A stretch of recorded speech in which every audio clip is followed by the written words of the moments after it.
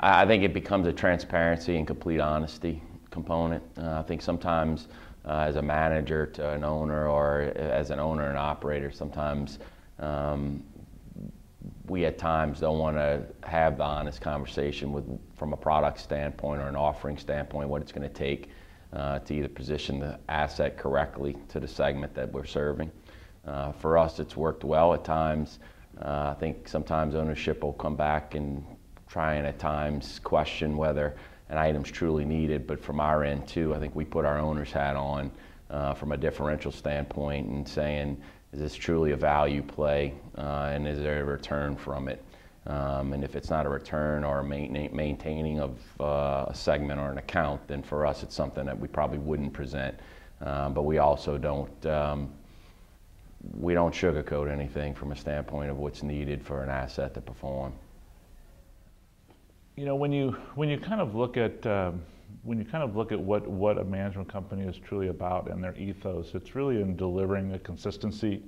It's delivering an experience that that's you know resonates with the guests, other than just checking them in or checking them out. It's it's those moments of truth uh, and it's you know it's helping your associates understand how important those moments of truth are. And there's thousands of them every day in a hotel, and and that's really where you're going to start to differentiate yourself as as an operator and as a, as a management company, and being able to to create that ethos and that culture through your people.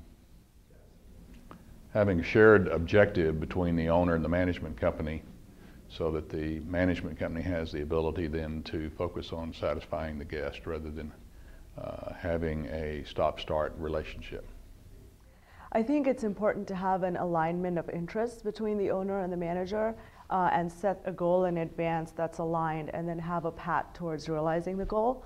Um, so for instance, if um, you need to improve guest service by 10% uh, and one of your biggest issues is uh, Wi-Fi bandwidth, then there should be dollars in the capital plan towards realizing that improvement in bandwidth and therefore realizing the, the service score improvement.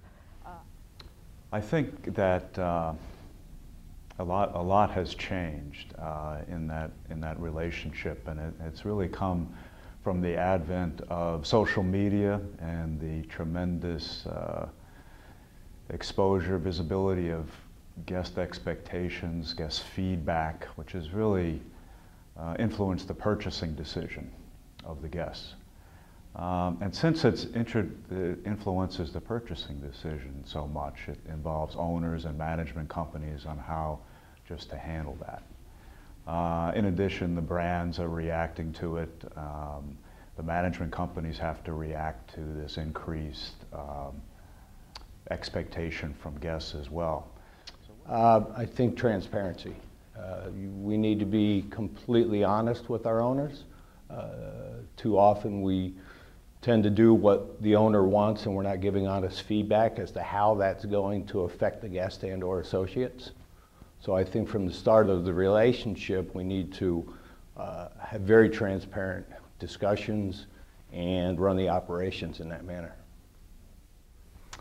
Guests benefit from uh, a harmonious relationship between ownership as well as brands in recognizing that the brand represents a promise and how is that promise actually being fulfilled vis-a-vis -vis the competition. So as brands seek out how to respond to guest expectations, it's the management companies that actually fulfill those expectations. Well, it's definitely trust. Both parties have to enter into a, an agreement with a sense of trust, and that trust builds as the relationship matures. Uh, how this affects the guest is that uh, if a management company can work closely with ownership on investing in the product, improving the hotel operation, uh, improving training programs and guest presentation, then the guest is going to win. And in a good relationship, management and ownership works together in that objective. I think you have to constantly focus on expectations. So not only for the guest, for the ownership, for our associates in the hotel. And I think if you do that, then you will um, create a very good relationship all the way around. Yeah, I, I, believe in large part it's, it's create an expectation level between management and ownership so you're all on the same page. Um, to that end, if, if we're all rowing in the same direction, uh, I would imagine that uh, it, it provide significant benefits to the guest experience. I think when there's a disconnect between the two, and I think that creates certain problems.